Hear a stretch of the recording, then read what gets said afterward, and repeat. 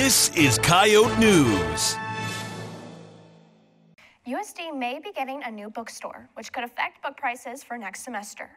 Barnes & Noble is up for a contract renewal.